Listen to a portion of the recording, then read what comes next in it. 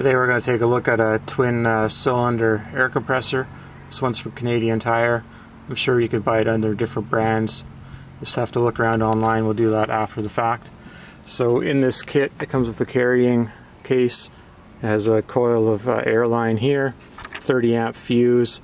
This is a piece that fell off of it. There's a bit of oil stain here and a couple inflators for a ball and a whatnot. So this one's a battery connection at 30 amps. So you wouldn't be able to run this off a cigarette lighter. So that's why they've got it set up like this. And this uh, line is just long enough to reach the, the back tire on the opposite side with the 155 inch wheelbase van and uh, you're not going to be able to reach the spare with this. They use a proprietary not proprietary, I would say they use an unusual hose connector. Sorry, it's not going to be focus very well. You can see that's not the connector most of us use on this line. But what you could do, obviously, is put a different connector on here and use a different airline. This airline feels fairly supple.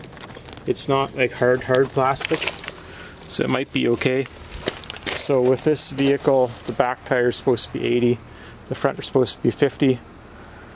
I'm doing an experiment, so I'm going to pump it up a bit higher than that. We're going to go up to 80 on all four corners. You'll lose a little bit of air putting this on, but it's nice that you can just stick it on and not hold it. So we're on here. I checked this with the tire gauge and it was 70 psi. Used, uh, it's not going to focus on this very well. Anyway, I used this thing here from Wilton. It tells me the pressure here is 68.5. Now it's got two switches on here, one being for the light, the other one is to turn on the compressor. Now it's not going to start because it's above the set pressure. So you hold the set button. It's blinking. Now we're going to put it up to 80. And you got to push it up.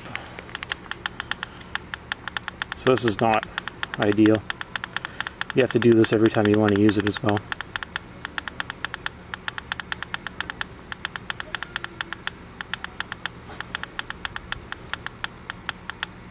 So now we're going to 80. We'll turn it blinking. So it's not super loud. It doesn't want you to if you want to put your plugs on or anything.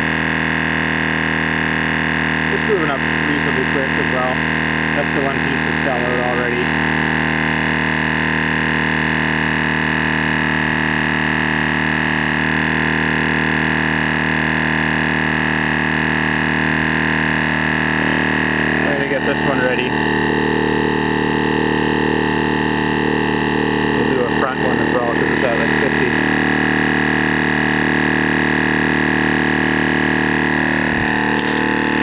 This vehicle's got 8 lugs and 140 foot-pounds per torque. So it's kind of nice to have a air compressor with you rather than having to put on your spare tire. And with this you can pump up your spare tire before you mount it because it's probably going to be low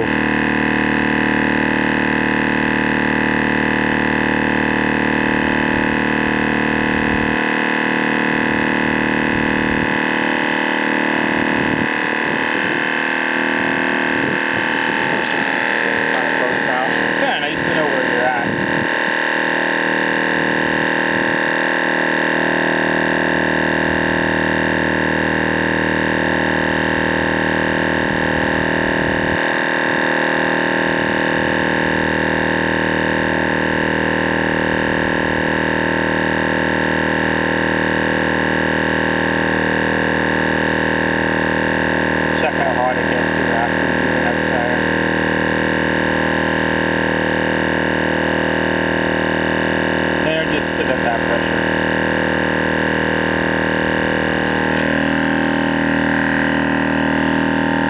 So it's not getting hot, it's not obnoxiously loud, so that's pretty good, but it was a bit expensive compared to a cheap thing. Now this you want to get it off as quick as you can. So you don't lose a bunch of pressure.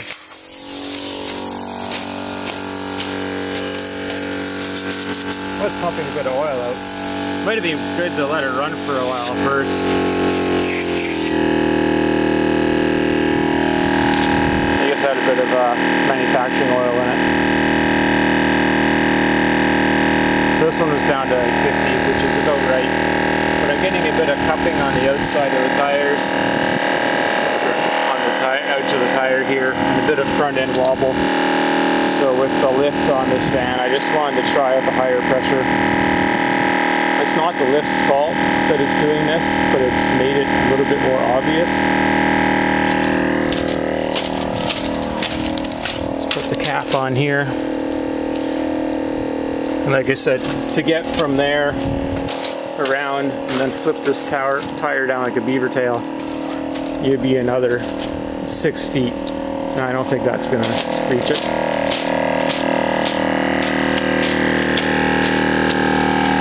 For a 60 psi, something like so, 10 psi, relatively reasonable. Not a dime. So one of the reasons I bought this was that locally you could go to a tire pump and pay a dollar to put air in your tires.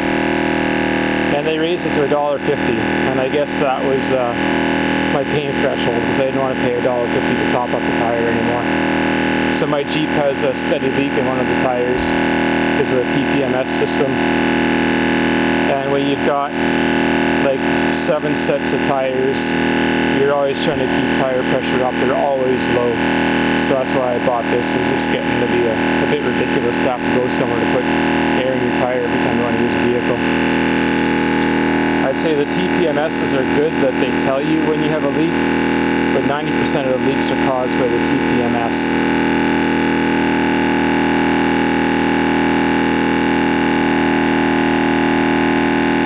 So we'll just uh, we'll take our time here and we'll watch the full pump and you can see time lapse how long it took to do the tire. This is an LT 245 75 R16. So it's a pretty common Chevy size tire I think.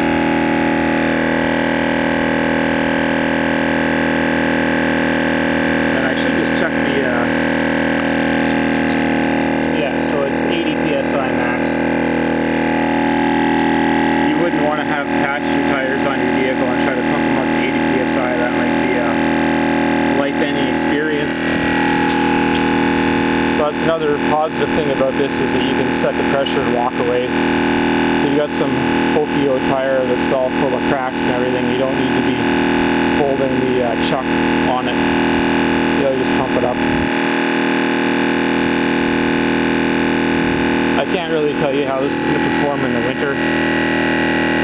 It might be uh, a bit stiff. You may not be able to get to the back tire. I won't be able to really provide any feedback on that anytime soon. Winter's uh, many months away, hopefully.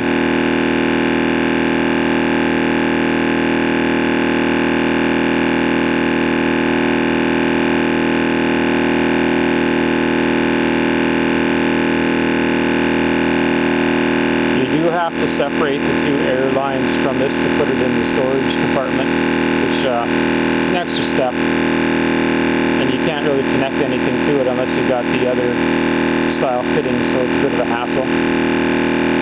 So that would be probably a negative, but I think overall it's positive. Like when you go to a tire, like a, a place at the gas station, put air on it, if you're trying to put this up to 80, you gotta be forcing on it really hard, because some of them just don't want to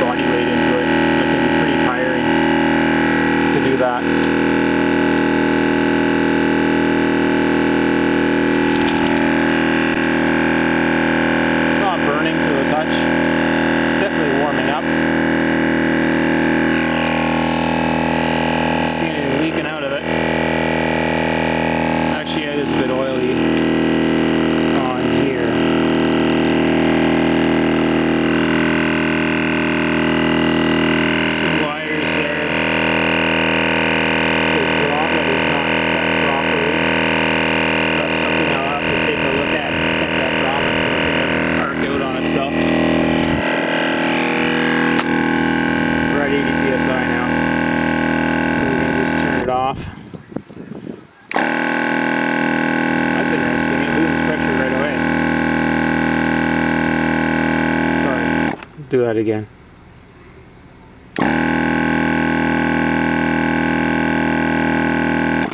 Last time I turned it off, it went down to 79.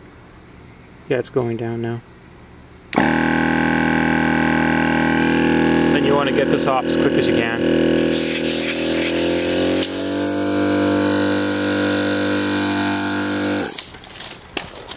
Check with the more conventional gauge. And that's interesting. We're at maybe 76.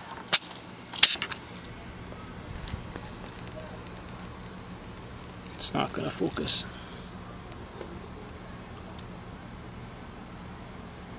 All right, we'll try that again.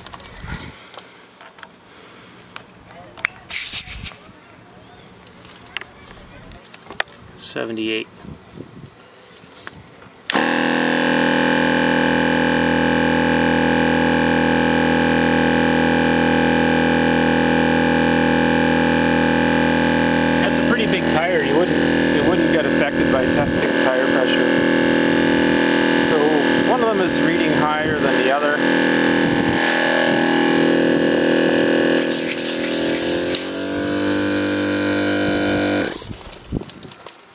That again.